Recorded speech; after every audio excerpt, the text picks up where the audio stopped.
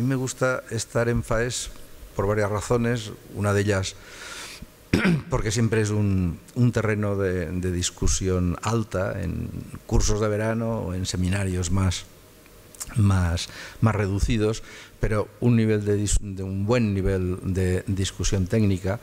Pero también me gusta porque eh, eh, porque lo puedo contar en Cataluña, lo cuento con gran afición a, mis amigos. No, es que estuve la semana pasada en FAES y tal.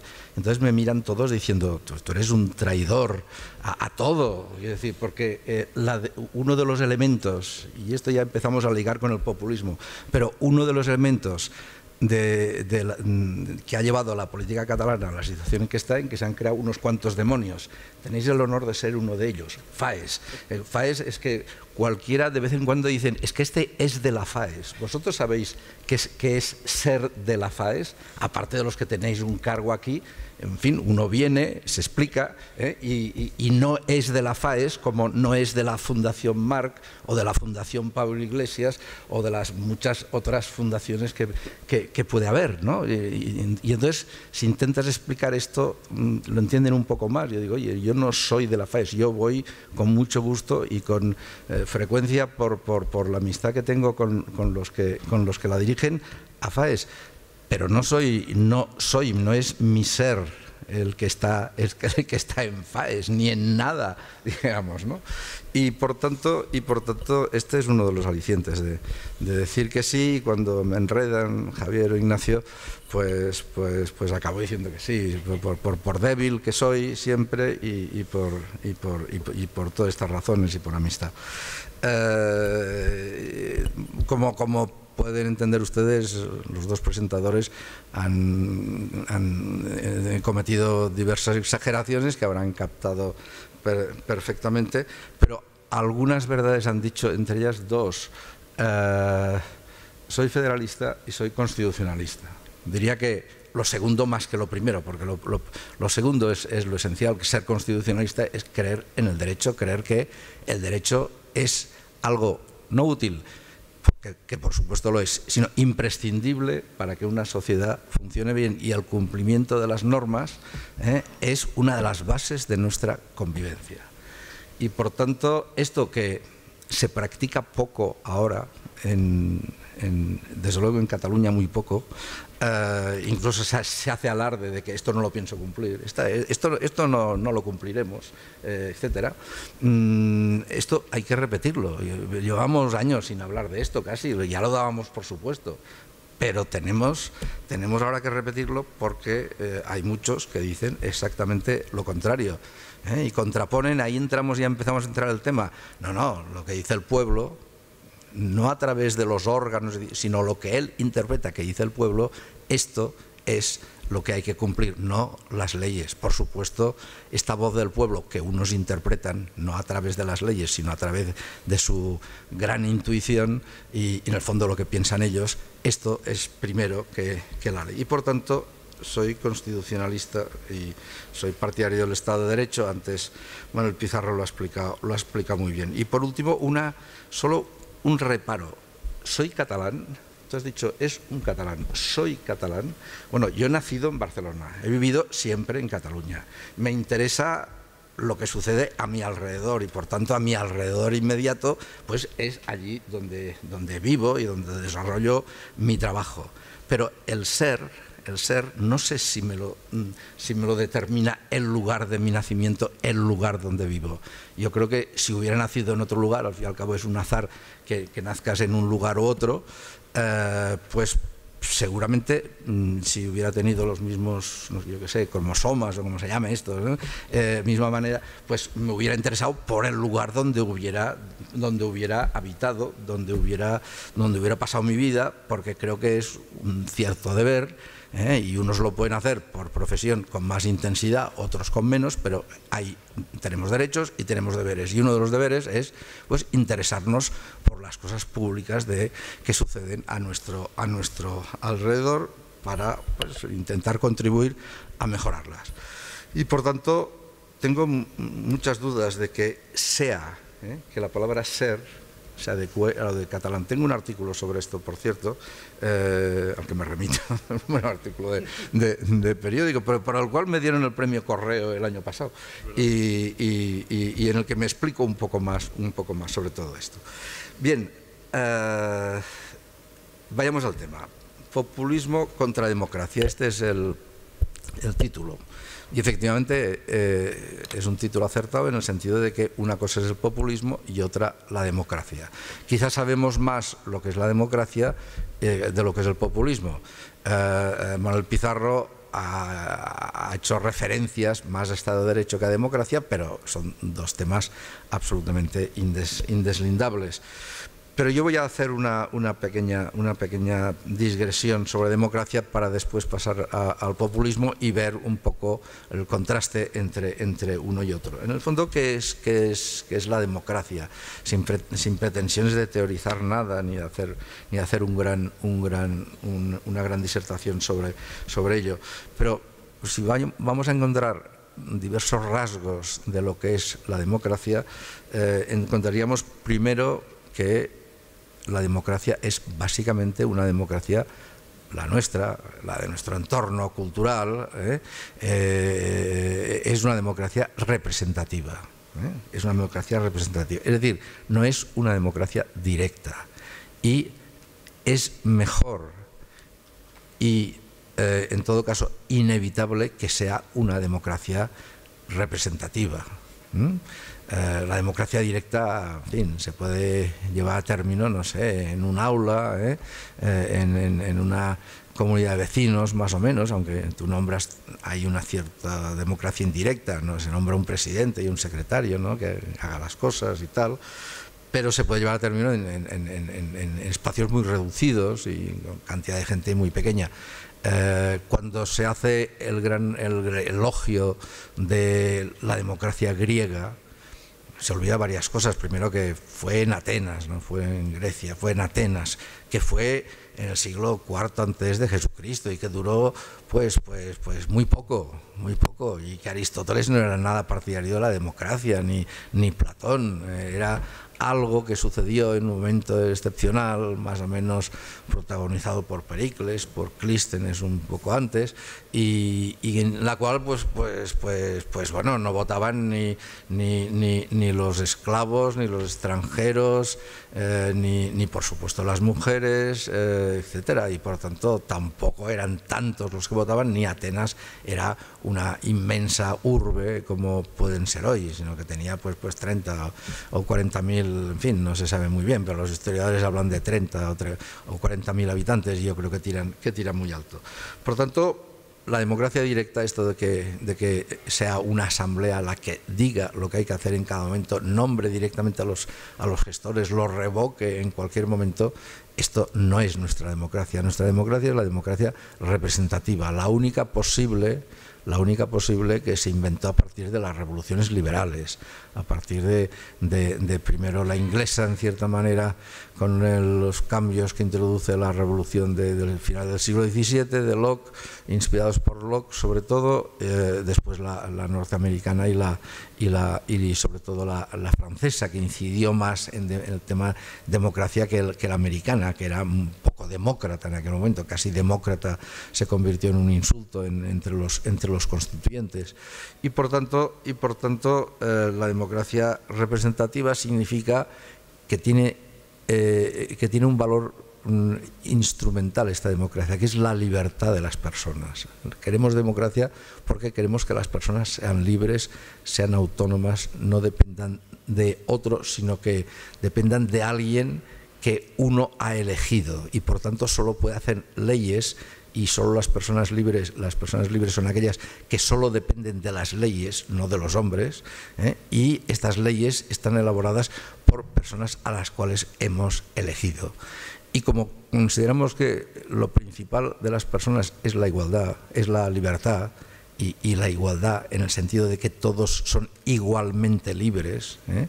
pero el valor nuclear es, la libertad, la igualdad eh, es un valor relacional, es un valor respecto al otro, todos igualmente libres, libres es, lo sustantivo, eh, pues esta libertad es, hace que la gente en principio no tenga que preocuparse de las cuestiones públicas más allá de eh, elegir cada X años órganos representativos, cada cuatro años pongamos, y que estos órganos representativos, pues regulados por leyes, pues ya irán elaborando en un proceso racional, argumentado, público, que se conozca, ¿eh? y las personas irán formando pues sus criterios respecto a si los gobernantes lo hacen bien o mal.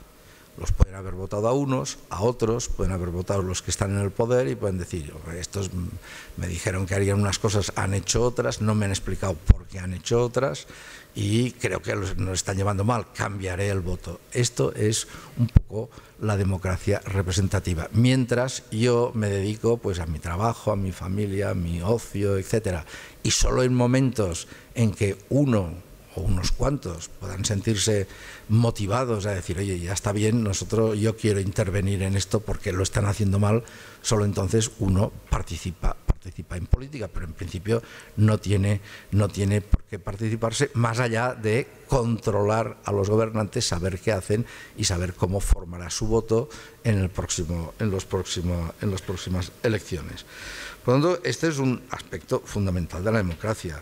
Y, en segundo lugar, otro aspecto fundamental de la democracia es no solo la elección y el control de los ciudadanos respecto a quienes han elegido, sino también dentro de los poderes del Estado, no solo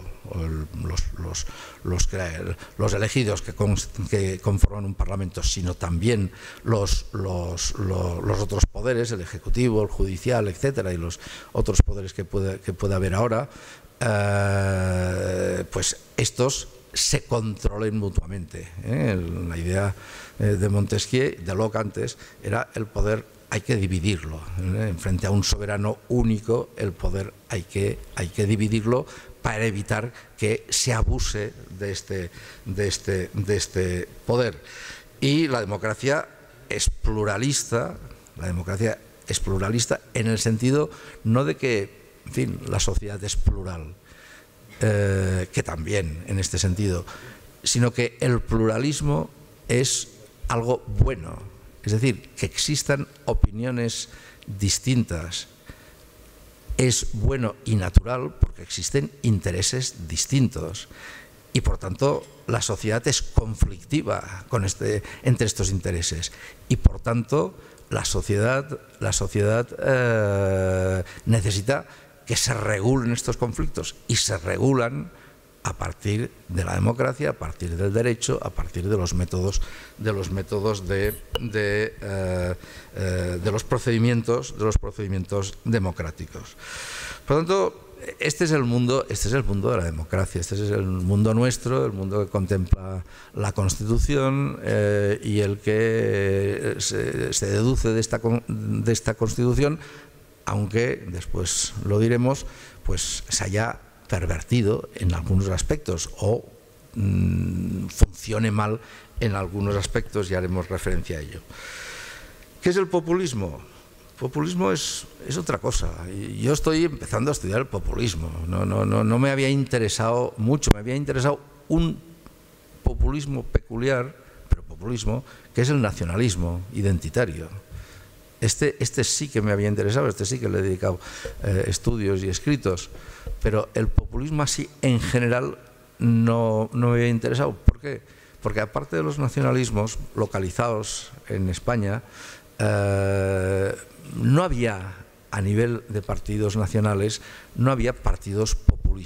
Había partidos de derechas, de centro, de izquierda, de centro izquierda, de extrema izquierda, ¿eh? mucha variedad. Cuando vamos eh, a votar hay miles de papeletas allí, bueno, miles, hay, hay muchos, muchos partidos, los cuales casi ignoramos su existencia, e incluso yo dudo de que existan todos, pero, eh, pero en todo caso hay una oferta, una oferta, una oferta plural de partidos que defienden ideas, defienden intereses, defienden, eh, defienden grupos, determinados eh, grupos sociales frente a otros y que quieren utilizar las reglas democráticas para defender, defender estos intereses. Esto esto no es el populismo. Esto no es, el populismo no es, no es esto, el populismo es algo, es algo muy, muy distinto. El, el lunes creo que el lunes, el lunes pasado, 29 de junio, el país dedicaba una página de sus, de su, páginas de internacional, de, política internacional, argentinas. Y ahí hay un, nuevo, eh, bueno, un, político ya de, larga trayectoria, pero emergente en estos momentos como líder del peronismo en Argentina, que puede ser sucesor de Cristina Kirchner, según se dice aquí, un político al que yo no conocía de nada, eh, que se llama Scioli, eh, y Scioli, eh, el país cita una frase de Scioli que nos da una de las características del, populismo en sentido puro, entendiendo que el peronismo es una de las formas clásicas de, populismo.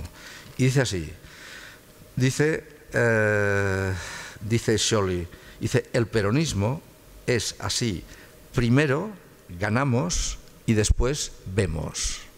O sea, ¿qué es lo importante para el peronismo? Ganar, ganar. Después vemos, vemos qué hacemos. Parece que Choli fue un colaborador de Menem, eh, o sea, un, político en las antípodas, por lo menos en política económica, de lo que han sido los Kirchner, el matrimonio Kirchner, más o menos. ¿no? Eh, si no las antípodas, uno pues era un liberal y estos son mucho más estatistas, intervencionistas, etcétera. Pero este hombre no tiene problemas, porque dice, lo importante es ganar, vamos a ver si gano. ¿eh? y después vemos. Pero lo único, lo único importante, repite, es ganar. Y entonces hace una alusión a los radicales, al Partido Radical, el partido de la oposición, principal partido de la oposición al peronismo, y dice, los que discuten qué hacer antes de ganar son los radicales. Lo dice casi con desprecio. ¿eh? Nosotros vamos a ganar, a ver, es lo único que nos importa. Después veremos qué hacemos. Y estos radicales, en el fondo dice, estos radicales pierden porque discuten antes de ganar algo que le parece a este hombre, Choli, insólito.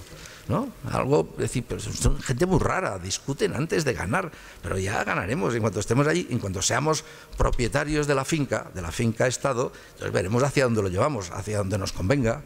¿eh? Esto es lo contrario, lo siento, pero es exactamente lo contrario de lo que debe ser una democracia.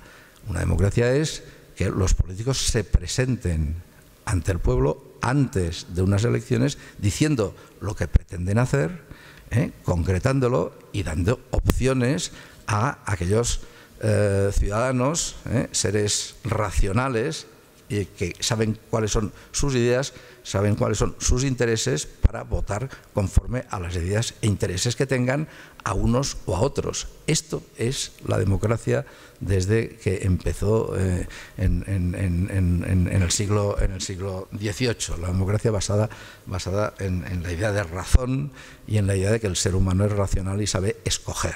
¿no? Bien, eh, Choli dice lo otro. Choli dice lo otro, y yo creo que es una buena, una buena definición mm, primera de eh, lo que es el populismo. Tienen estrategia para acceder y ganar eh, y conservar el poder. Son Maquiavelo en estado puro, en cierta manera. ¿eh? y ahí puede haber populistas que quieran hacer el bien del pueblo y otras y otras que quieran hacer pues el bien de, sus propios partidarios. Normalmente, como conocemos la, naturaleza humana, las buenas intenciones que pueden tener algunos en algún momento acaban siendo eh, el procurar por ellos mismos la salvación y la conservación, la conservación del poder. Populismo, por lo tanto, es estrategia, no ideología, ¿eh? esconder la ideología en pos de la estrategia para llegar al poder y, en todo caso, es dar unos mensajes simples, emocionales, dirigidos a los sentimientos y para nada argumentados racionalmente, ¿eh? sino decir, queremos esto, pero oiga, ¿usted cómo va a conseguir esto? No, no, nosotros queremos esto y es lo que haremos. ¿eh? Eh, partido un partido populista clásico como es Siriza, la unión de 16 partidos previos, etcétera, pues eh, dijo, nosotros resolveremos el problema de Grecia, pues si hace falta, pues, pues, pues eh, eh, no pagando las deuda, la deuda pública y, y si tenemos que salir del euro, saldremos del euro, etcétera.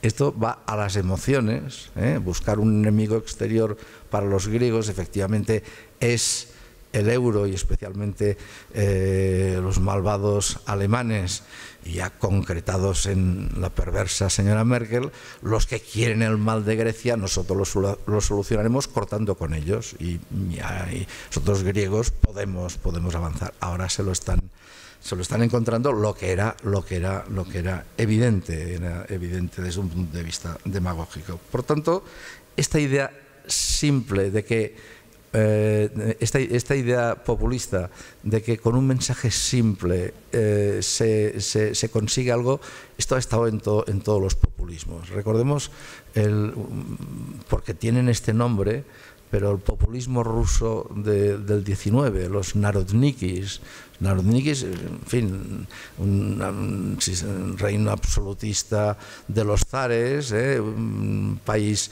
agrícola básicamente, básicamente pobre, básicamente feudal, etcétera, pues ¿qué esperaban? Un levantamiento del pueblo, lo fundaban todo en un levantamiento del pueblo que será consciente de eh, y derribar al zar.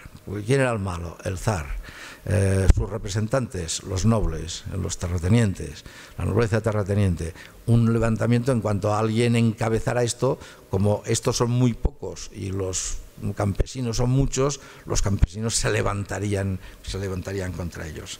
Eran el pueblo, el pueblo no eran el zar y los terratenientes eh, y no la nobleza terrateniente, sino que el pueblo eran ellos, los, los campesinos, y esto se podía cambiar rápidamente. Está Dostoyevsky lo explica estupendamente. Eh, los anarquistas, mm, fondo el, movimiento populista ruso tenía un fondo anarquista, eh, eh, los anarquistas eran lo mismo, la chispa que, que, cambiará, que cambiará la historia, la, huelga general que en un momento dado se producirá y bueno, acabaremos, colectivizaremos las fábricas, acabaremos con los, con los empresarios, etcétera, etcétera, y lo solucionaremos todo. Vayamos a otro extremo mm, pero que es también un sistema populista. Vayamos a, los nazis. Es decir, pues en una Alemania en una Alemania pues eh, con una economía eh, puesta en dificultades por eh, el final de la guerra del 14, de la guerra europea, por un tratado de Versalles sin duda equivocado, por un tratado de Versalles que les impedía pues rearmarse, les tenían que tenían parte ocupada por por Francia, por los aliados, que no podían disponer de sus riquezas del todo, del, hierro, del carbón, tal, ¿eh? pues, pues, pues eh, ¿qué, tenemos, ¿qué tenemos que hacer para superar esto? Señalar un enemigo. ¿Quién eh, tiene la banca? Básicamente los judíos. Pues coger toda la corriente de antisemitismo que había, banca, judíos son lo mismo, contra ellos. Y, bueno, las causas simples fascinan a mucha gente porque las entienden, porque las entienden.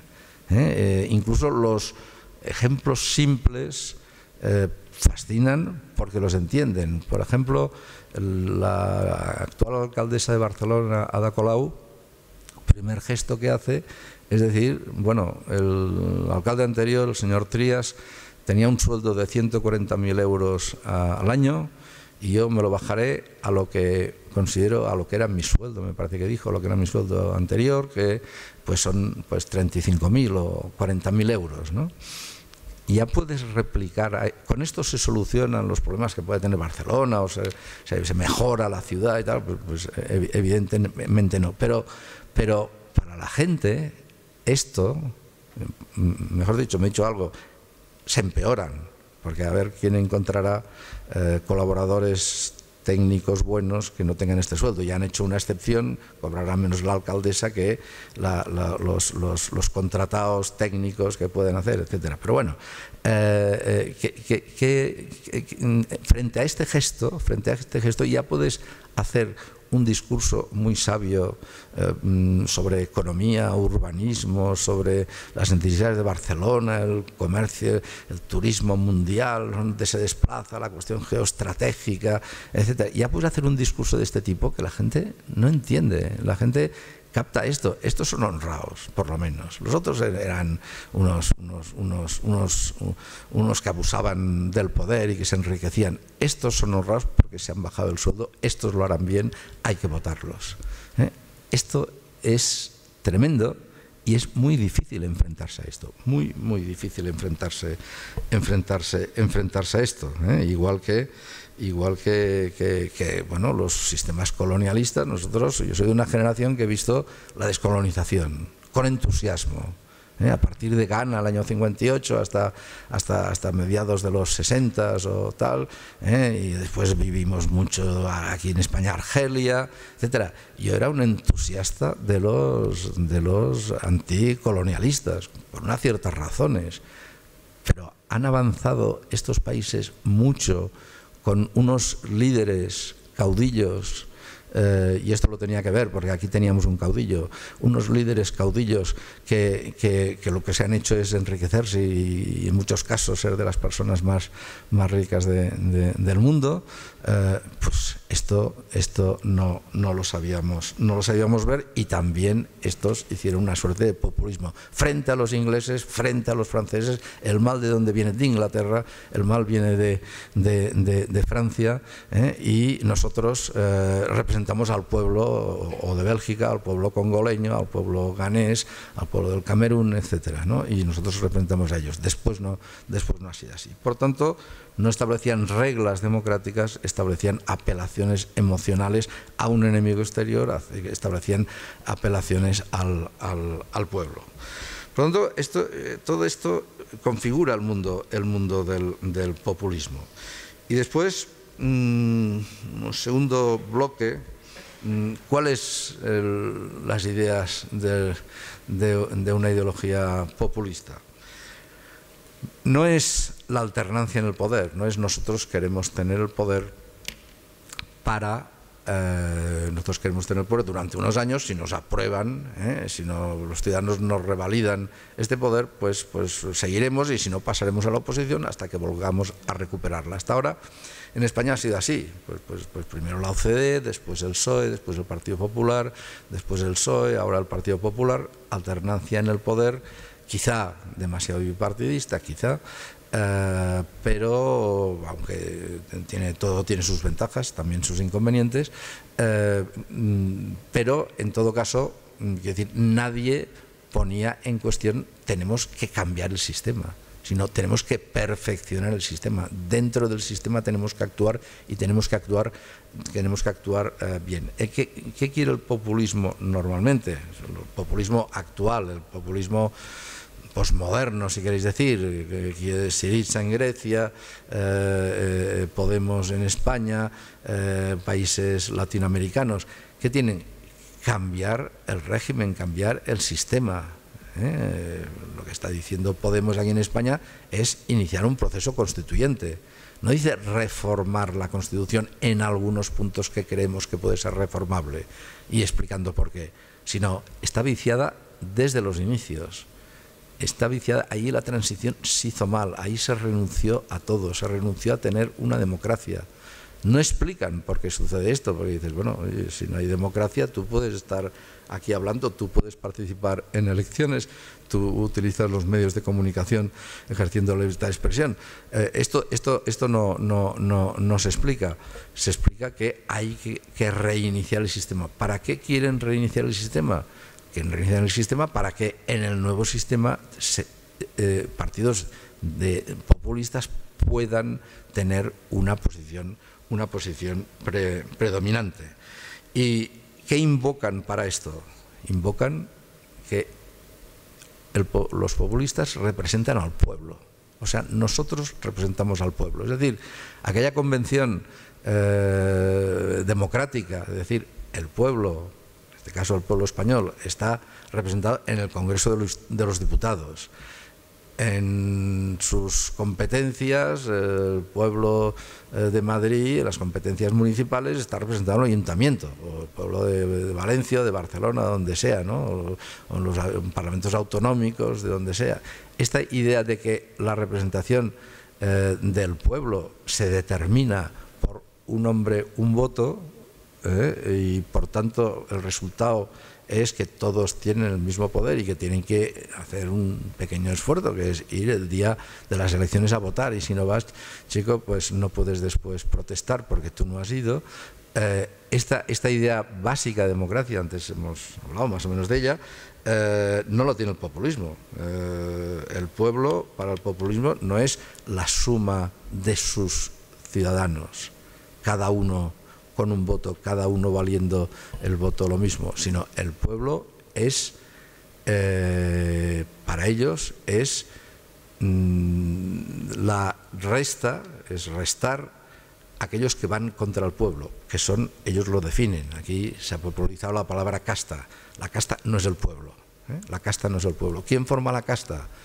Pues más o menos se deduce de su discurso, pues que la casta la forman, pues utilizando además eh, síntomas de la crisis actual, la forman los, los, los, banqueros, ¿eh? la banca, ¿eh? las grandes empresas, el IBEX 35 es el símbolo, las grandes empresas y los políticos que en el fondo están al servicio de la banca y de las grandes empresas y que les dan enormes beneficios, beneficios a ambas. Esto es la casta, esto es la élite ¿eh? y el pueblo es otra cosa. Y por tanto lo que tiene, valor es el pueblo. Y el pueblo eh, se expresa a través de las urnas, sí, pero esto es manejado por la casta. Por tanto lo que vale es la voz del pueblo directamente. ¿Quién entiende a este pueblo? Nosotros. ¿Por qué?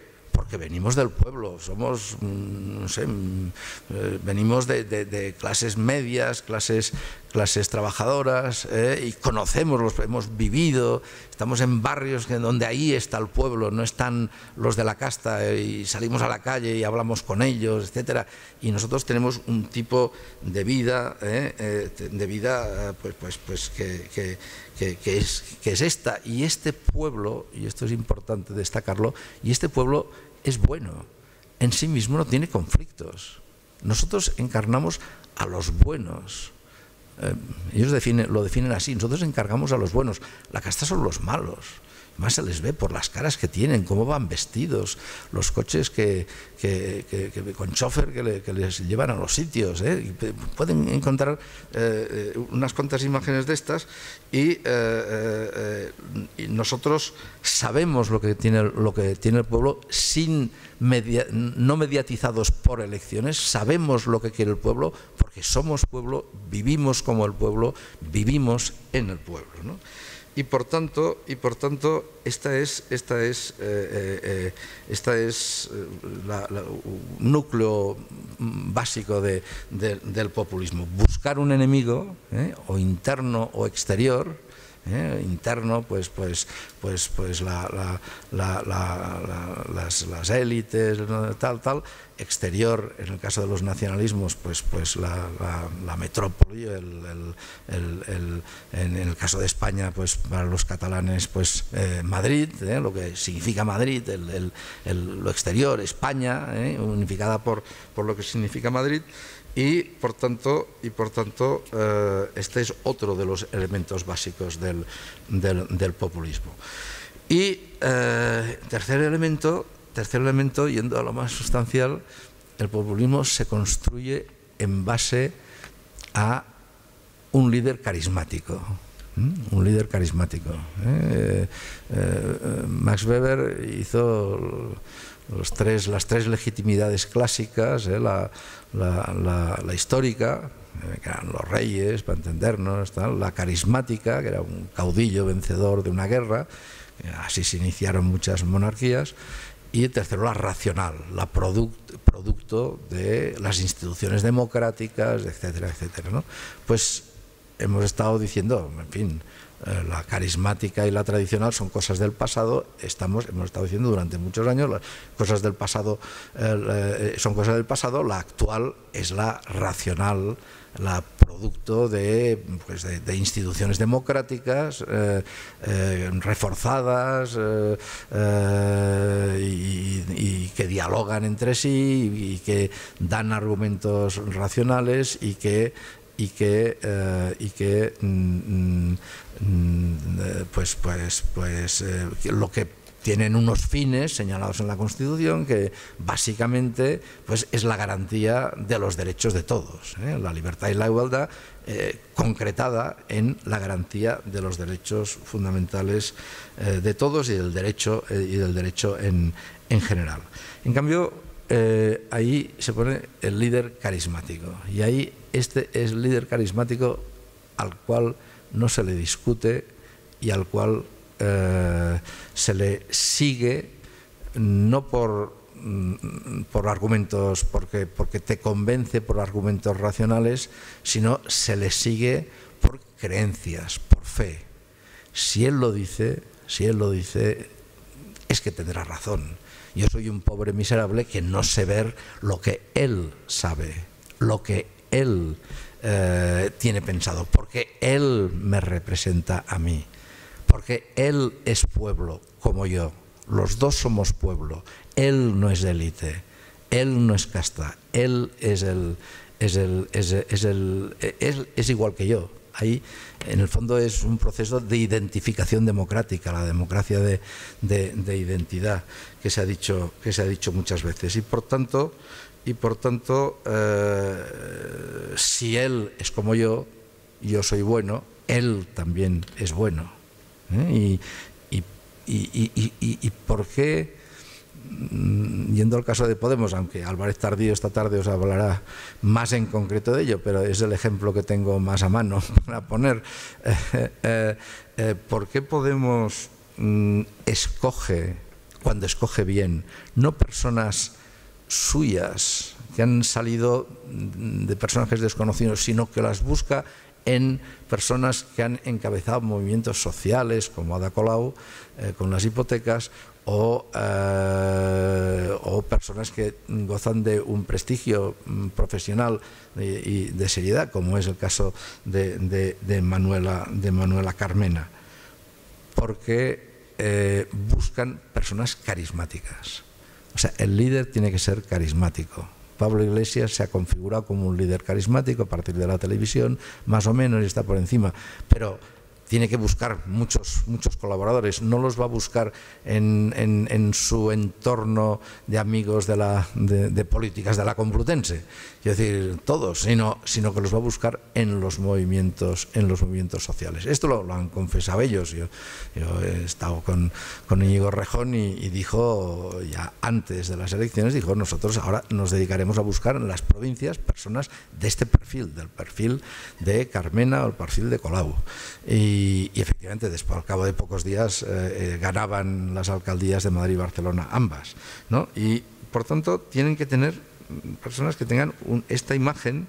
¿eh? Y, y, ellos dan la imagen de las élites, de los políticos, del mundo económico, etcétera, como los malos.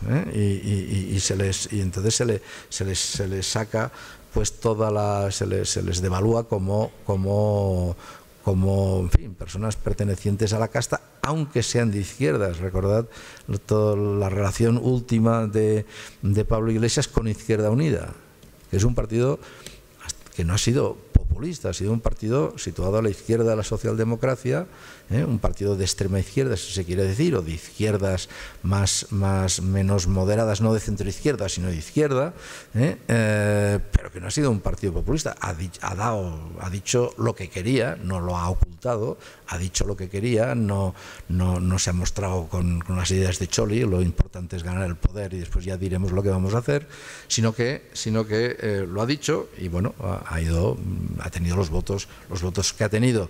Pablo Iglesias está diciendo nosotros no haremos como estos tontos en el Fondo de Izquierda Unida. Nosotros no diremos lo que pensamos. Nosotros eh, hemos ido cambiando. ¿eh? Lo que el programa de las europeas, ah, este no era para aplicar, este era un programa para, para salir, para ganar. ¿eh? Para ganar. Fijaros que, que, todo, que todo encaja. Este es un programa para ganar. Una vez ya hemos tenido cinco diputados, la prensa ha puesto nuestro foco sobre nosotros y ahora haremos otros programas.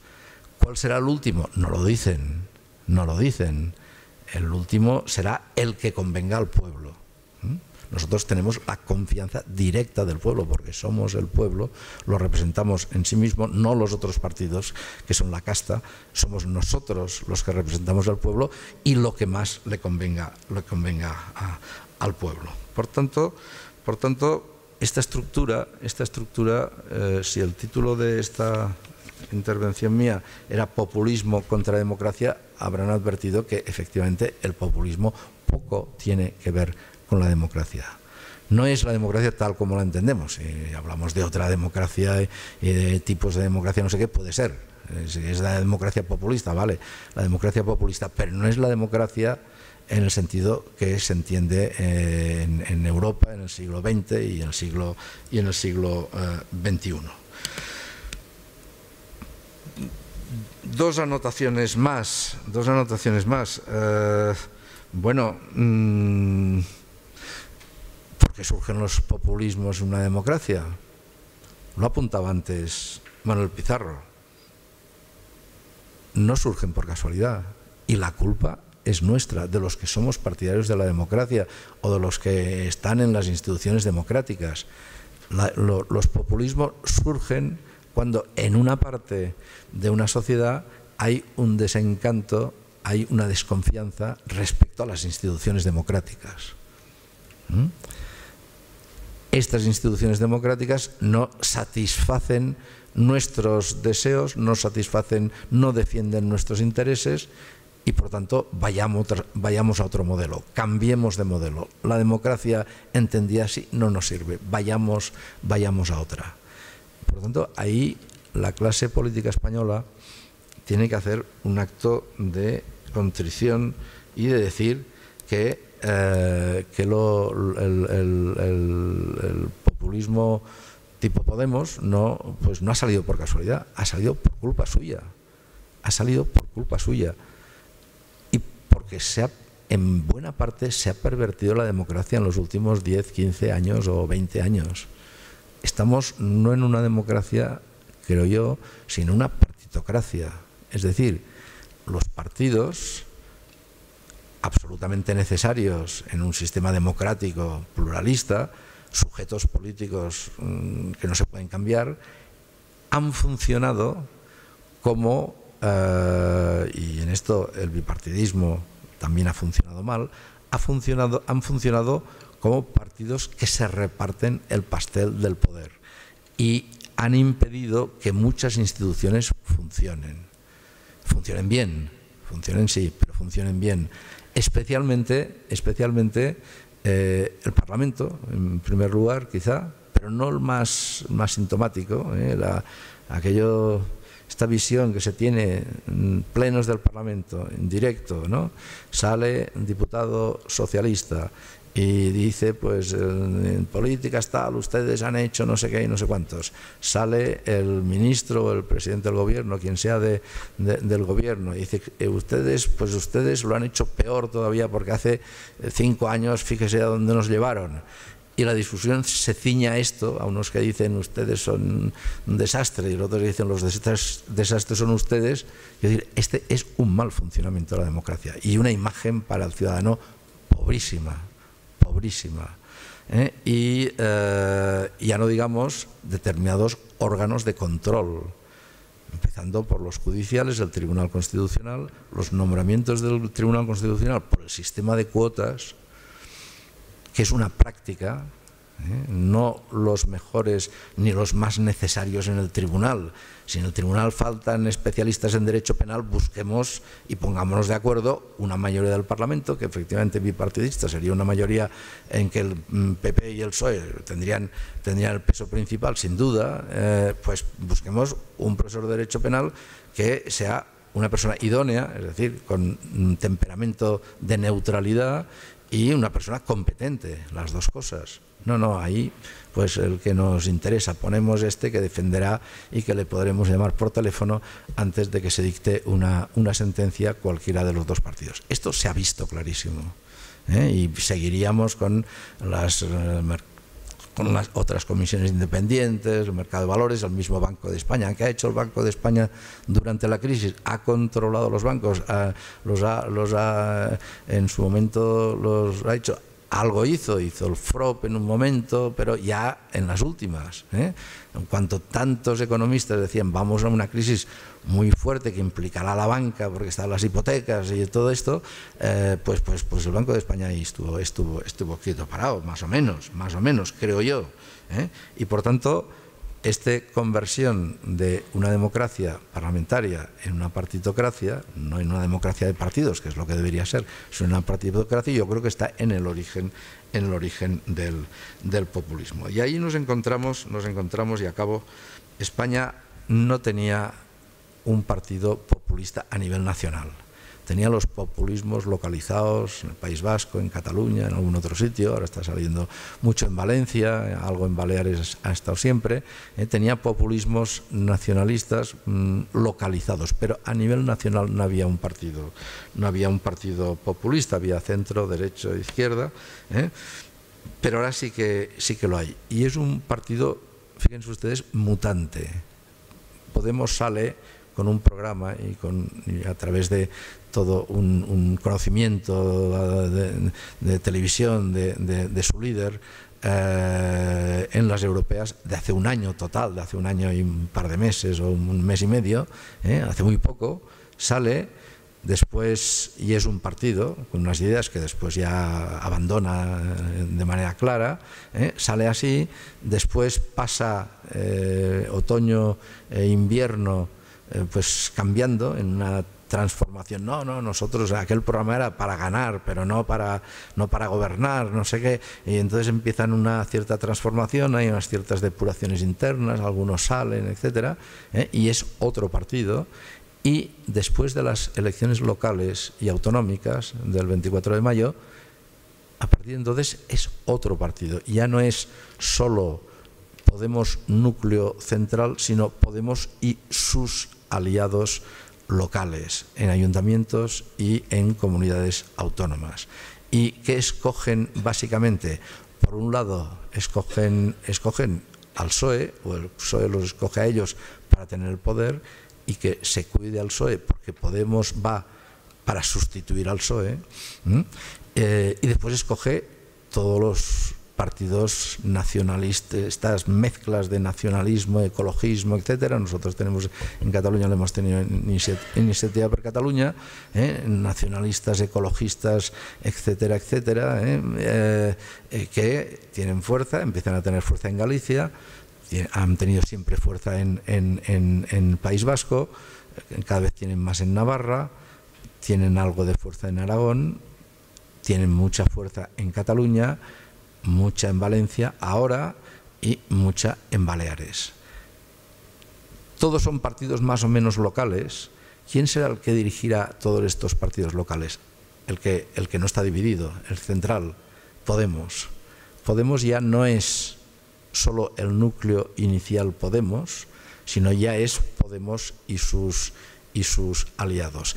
En el caso de que en unas próximas generales el segundo partido, mm, o sea, el, principal partido de la izquierda, para decirlo así, ¿eh? queda eh, en la derecha queda, eh, pues pongamos el PP, en el centro quedaría, quedaría Ciudadanos, y si el principal partido de la izquierda no es el PSOE, que es un partido clásico, no populista, socialdemócrata clásico, no populista, si es sustituido por un partido populista, ahí entramos en una grave crisis de Estado, gravísima crisis de Estado.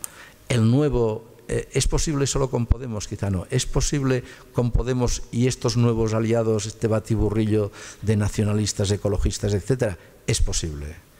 Y este es el gran riesgo de España. Yo creo que el riesgo no es el independentismo en Cataluña, en el cual ya no creen mm, mm, casi ni los, ni los propios independentistas que lo defienden, sino el gran peligro de España desde el punto de vista de la estabilidad, desde el punto de vista de mm, que está formando parte de Europa, desde el punto de vista que tiene que recibir inversiones de los españoles, de, lo extranjero, eh, que tiene que, aumentar su bienestar para, para, para, para, ampliar, pues, pues, pues dar, dar eh, mayor libertad e igualdad a los ciudadanos.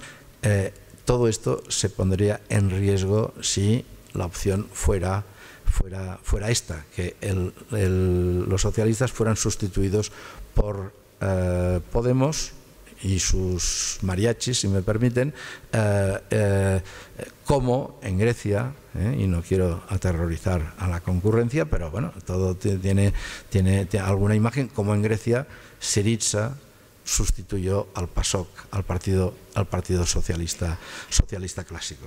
Este, este es el gran el gran, el gran peligro eh, y frente a esto, frente a esto, solo hay algo, que los grandes partidos, que los partidos clásicos se reformen a sí mismos, reformen la democracia y muestren al ciudadano que ellos son capaces de continuar por una senda que duraba 30, 35, 40 años, ya cada vez dura más, que dura, ha, durado, ha, durado, mucho desde, desde, la, desde la transición a la democracia y que tantos beneficios ha aportado a toda la sociedad española. Nada más, muchas gracias.